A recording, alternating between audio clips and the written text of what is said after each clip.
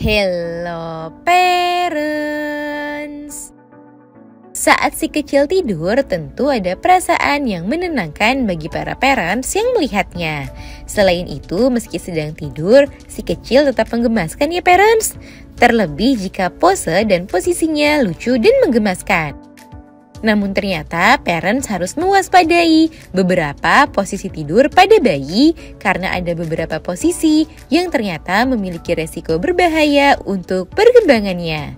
Termasuk resiko di dalamnya ialah Sudden Infant Death Syndrome atau SIDS atau sindrom kematian bayi mendadak, yakni kematian bayi dengan tiba-tiba dan tidak terduga selama tidur. Nah, agar si kecil terhindar dari resiko yang membahayakan dirinya saat tertidur, pada edisi kali ini dunia parenting akan membahasnya. Posisi tidur yang berbahaya bagi bayi. Yuk disimak parents! Eits, sebelum dimulai, jangan lupa support channel ini dengan cara klik tombol subscribe yang ada di bawah agar dunia parenting semakin semangat menyampaikan informasi yang bermanfaat.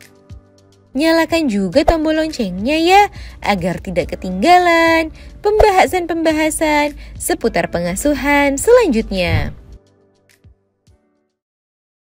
1. Tidur tengkurap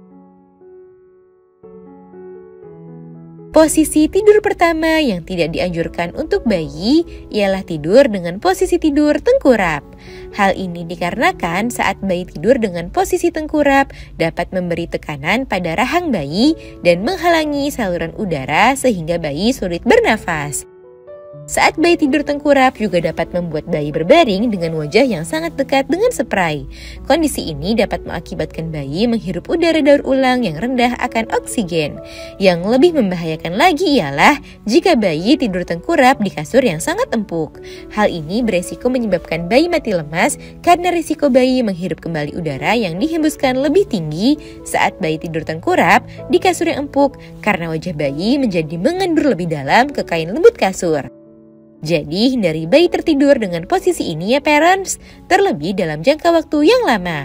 Selain itu, pada bayi dengan usia yang masih kecil dan belum dapat mengangkat kepalanya dengan baik, tidur dengan posisi tengkurap jika tidak diawasi dapat membuatnya beresiko kesulitan bernafas saat ia kesulitan merubah posisi kepalanya. 2. Berbagi tempat tidur dengan orang lain. Sebaiknya hindari bayi tidur di tempat tidur yang sama dengan saudara kandungnya ataupun dengan orang tuanya. Saat orang tua atau kakaknya tidur bersama bayi, dapat meningkatkan risiko SIDS. Hal ini dikarenakan saat tertidur, tubuh parents ataupun saudara kandungnya secara tidak sengaja beresiko menutupi wajah si kecil atau bahkan menibannya yang dapat membahayakan bayi. Jika harus tidur di kasur yang sama, beri batasan dan jarak agar melindungi bayi dari resiko bayi tertindih atau tertutupi wajahnya oleh anggota keluarga yang lainnya. 3. Tidur menyamping